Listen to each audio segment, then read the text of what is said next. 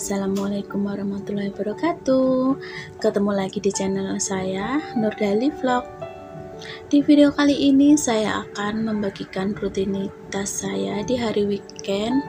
Kebetulan ini uh, pulang dari pasar ya Jadi saya akan masak uh, untuk uh, masak makan malam aja. Nah ini tuh masak buat nenek yaitu menunya sangat simpel yaitu bubur ikan ikan tenggiri.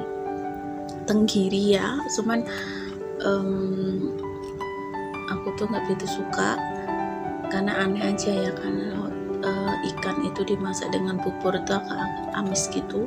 Nah ini ikannya udah aku potong-potong terus uh, nasinya juga udah aku masak tadi tinggal ditambahkan sayur dan sedikit penyedap rasa aja. Gampang banget pokoknya cara bikinnya simple dan uh, pokoknya nggak nyampe 10 menit udah kelar. Nah ini udah siap untuk disajikan. Jadi mereka berdua itu makannya nggak begitu ribet ya teman-teman. Cuman hari kerja aja saya masak pabrik jadi menunya lebih banyak Oke, seperti ini siap untuk disajikan kepada beliau.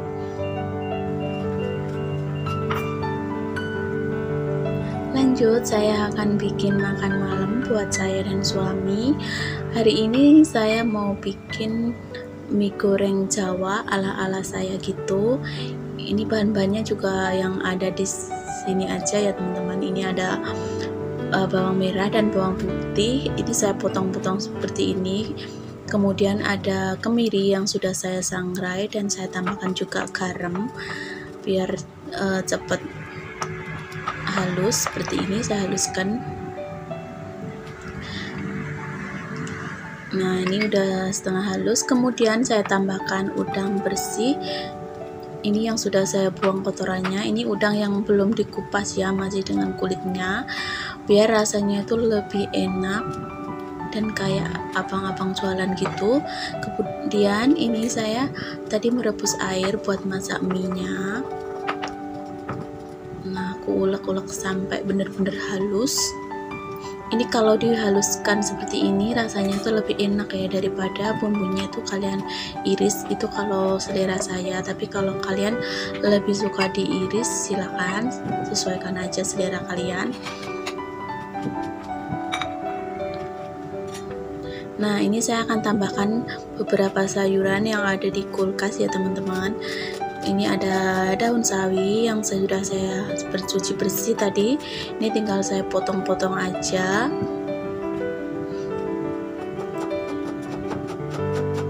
Kemudian saya tambahkan sedikit kol atau kubis.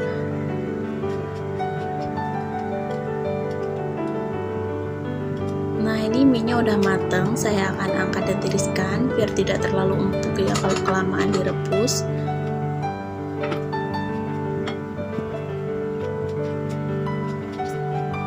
Nah ini lanjut, aku akan iris sayurannya. Ini ada daun seledri dan daun bawang. Ini bagian batangnya saya pisahkan ya teman-teman, dan bagian daunnya saya potong-potong aja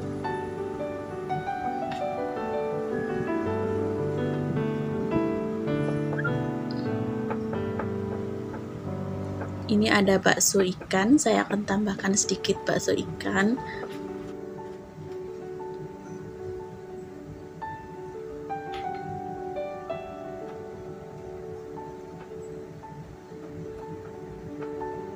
Lanjut saya akan iris uh, cabai merah cabai rawit merah dan cabai rawit hijau biar ada rasa pedas gitu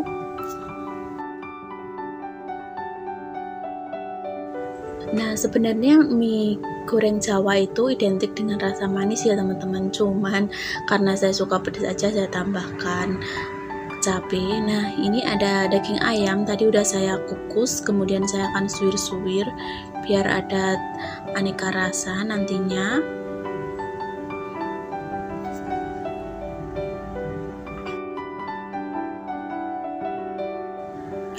lanjut ya teman-teman. Saya akan siap untuk menggoreng. Ini bumbunya yang udah saya haluskan tadi. Saya tumis sebentar sampai benar-benar harum.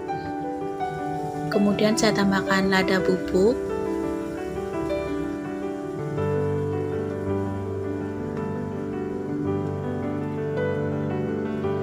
Ini saya bikinnya cuman untuk dua porsi ya teman-teman. Jadi eh, nggak uh, begitu banyak ini aku sisihkan seperti ini kemudian saya akan uh, goreng dua butir telur.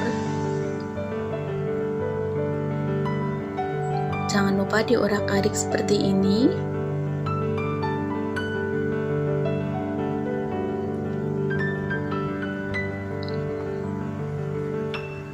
Nah ini udah setengah kering telurnya aku tambahkan juga tadi cabai rawit yang sudah saya iris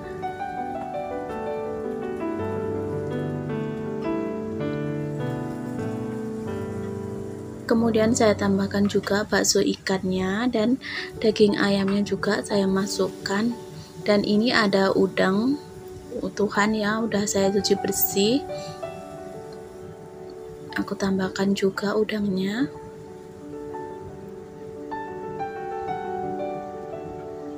Kemudian aku masukkan sayurannya. Ini yang bagian batang dulu ya teman-teman biar matangnya tuh lebih cepat kayaknya teflonnya kekecilan ini tadi teman-teman. Tapi nggak apa-apa. Oke lanjut. Saya akan tambahkan kaldu bubuk dan garam. Kalau sekalian suka micin bisa ditambahkan. Tapi aku nggak begitu suka aku tambahkan kaldu bubuk aja. Oke lanjut. Aku akan masukkan mie yang sudah saya rebus tadi ini tadi saya menggunakan uh, mie instan ya karena di rumah cuman ada mie instan aja. Adanya ada sih mie Taiwan cuman kalau masak dengan menggunakan mie Taiwan itu rasanya beda teman-teman. Jadi saya mau bikin yang khas Indonesia aja. Nah lanjut aku akan tambahkan kecap secukupnya. Kemudian ini sayurannya saya masukkan semuanya kemudian aduk sampai benar-benar ini sayurannya itu matang dan bumbunya tuh meresap ya.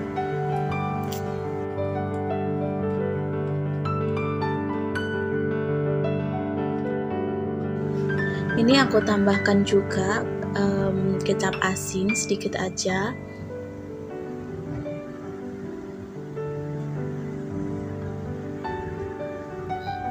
ini saya masak sebentar lagi aja nah baru aku akan tiriskan. Kemudian ini daun bawangnya juga saya masukkan. Jangan lupa dites rasa ya teman-teman. Rasanya udah pas apa belum? Kalau belum bisa ditambahkan. Oke ini udah matang dan hasilnya seperti ini teman-teman. Mie goreng ala Jawa ala Jawa pun siap untuk disajikan. Ini gampang banget dan rasanya enak kalau kalian mau yang lebih pedas cabenya bisa ditambah atau diulek ya. Oke lanjut. Saya akan kupas buah-buahan ini untuk suami saya. Kalau pasien saya sudah saya siapkan tadi uh, buah anggur. Ini ada jambu. Kebetulan di sini itu lagi musim jambu ya teman-teman. Jadi kalau pas musim seperti itu rasanya tuh lebih enak lebih manis kalau untuk buah-buahan seperti ini saya tuh beli sendiri ya teman-teman. Bukan dari majikan. Jadi keluar uang sendiri. Kemudian ini ada buah melon. Ini aku kupas.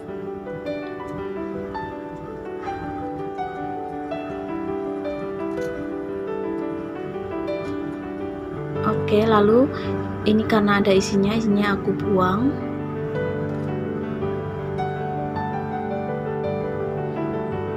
kemudian nanti aku akan potong-potong.